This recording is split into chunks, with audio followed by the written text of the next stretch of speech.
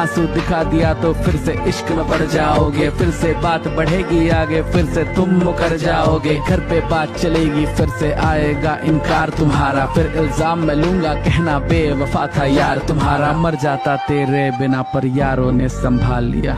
मैं क्या बताता, उनको मेरे इश्क ने मुझे हलाल किया। और तू क्या कहती? कोई सी कोई